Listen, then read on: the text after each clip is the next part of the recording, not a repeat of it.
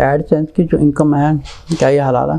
देखिए ad AdSense की total income total hundred percent income हलाल नहीं होती है। वो हलाल ना होने की वजह ये है कि उसमें अगर आप बहुत सी कैटेगरी को अगर आप अगर आप ब्लॉक करते हैं तो फिर भी ऐसा बिल्कुल भी मुमकिन नहीं है कि सौ फ़ीसद उनके ऊपर ब्लॉक लगाओ। खुदा न खास कोई समझे कोई कोई तस्वीर ऐसी आ जाती है, या कोई म्यूज़िक आ जाता है, या कोई ऐसी गैर इस्लामिक चीज़ आ जाती है नॉन शरिया कंप्लाइंस चीज़ आ जाती है, या फिर म्यूज़िक आ जाता है, या किसी, या औरत की तस्वीर आ जाती है।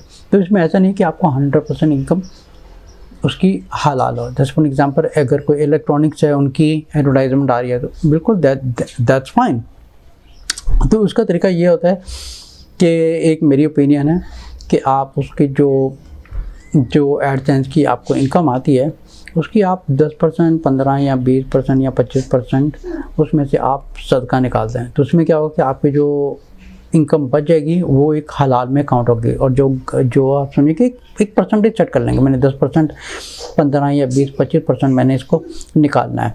लेकिन उसमें ज़्यादातर ये होता है कि it's it's my own personal opinion वैसे सिक्सटी परसेंट ठीक होंगी या फोर्टी परसेंट गलत होगी। कुछ इस किस्म की फ्लक्चुएशन या फ्लेक्सिबिलिटी होती है।